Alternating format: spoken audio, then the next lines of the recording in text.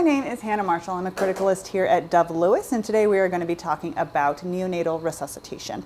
So, this is a pretty common thing that we see in animals that are in a dystocia, uh, at least through the ER. You may see this in a planned type of cesarean section procedure as well. However, when we're dealing with, with it at our hospital, these are pretty much always emergent situations.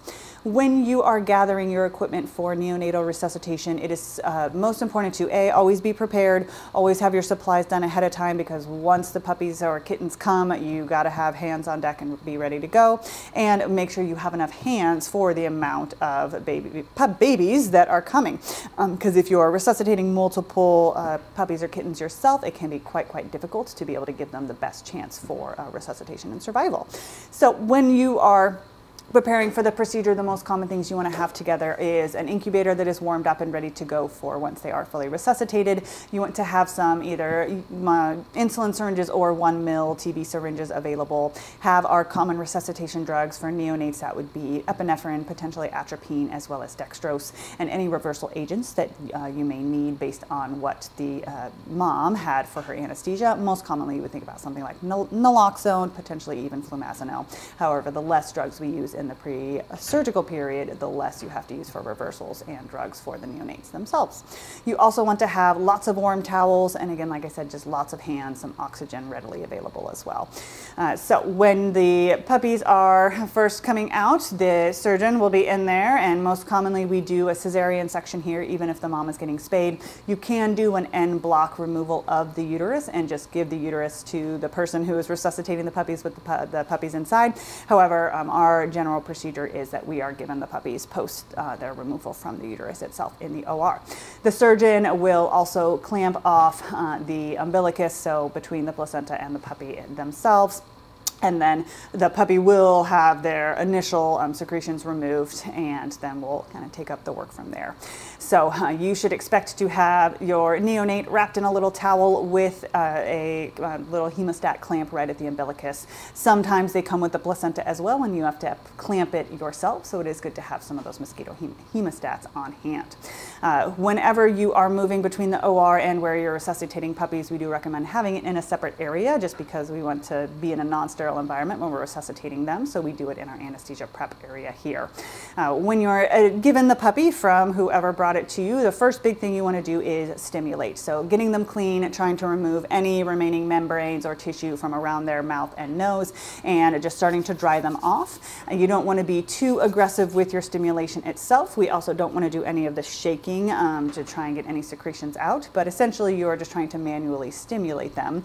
I always do it with a towel. I try to do it with a warm warm towel just uh, because they are likely going to be cold coming out as well. I will very often just have the anesthesia circuit oxygen nearby. Of course, no gas running, but just to have some oxygen that you can transfer between the different pups. If you have multiple puppies that are showing signs of hypoxia that, not, that are not pinking up too quickly, then you might want to have a couple different lines, but often we'll just kind of share between the group themselves. Uh, the bulb syringe technique is something that we're doing to try and clear the oral um, cavity and the kind of oropharynx area of any continued secretions. That is something that may change a little bit with the outcome of the new, new newborn resuscitation guidelines from Recover. Those should be released hopefully by the end of this year. Keep an eye out uh, through JVEC for those to come. Uh, mostly you don't want to give too firm or too deep of suction to the lung tissue that could cause some actual trauma or damage. So do be very cognizant when you're doing that. But I do find some benefit with a bulb syringe and very light suctioning around the nose and out of the mouth just to get those big um, um, secretion plugs that you're seeing on the table there. And then essentially it's continued stimulation. Uh, if they are recovering quickly, then you would expect to start to see them moving around as we see these kiddos. Um, you will also start to listen for the crying. So as soon as they start crying, they're nice and pink at their nose and mucous membranes and they are showing good mobility, then I would be pretty happy with where they are at in resuscitation. If they remain pretty immobile, they are not making any noises, or they showed some initial recovery and then start to decline a bit is when we reach for our other drugs. You can listen for a heartbeat, make sure you have a consistent heartbeat. You want to watch your respirations as well to see if we can get some more frequent or consistent respirations.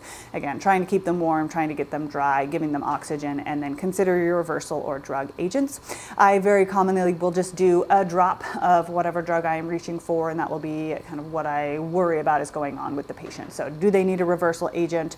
Do they need some cardiac stimulation with the epinephrine? Do has it been a prolonged time period? Do they need a little dextrose under the tongue? Those are kind of the big three that I'm reaching for. I may do it in a little bit of a cyclic manner, again associated directly to what I'm finding on the exam of the neonate at the time. Um, if you have a pup that has a slow, low heart rate but isn't breathing great, then again, continued stimulation, use your epinephrine or atropine um, kind of based on what's going on.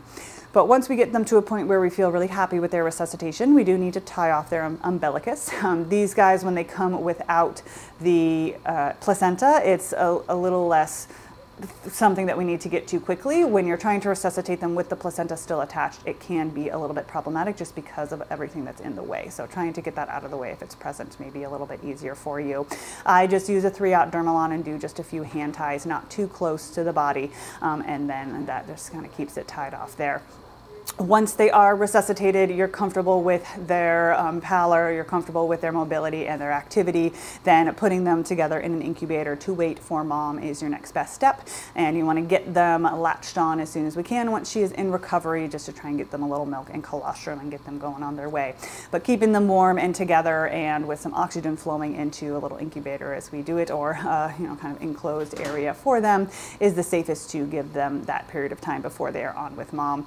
Um, if you have a mom that's recovering a little more difficultly from anesthesia, you may want to keep them a little bit separate or only have them in the cage with her uh, with supervision. But as she becomes more alert, as long as she's accepting them readily, you should start to see her interacting, allowing nursing, licking, etc., etc. But just being cognizant, especially when they are um, still recovering, can be really important. And those are the basics for neonatal resuscitation.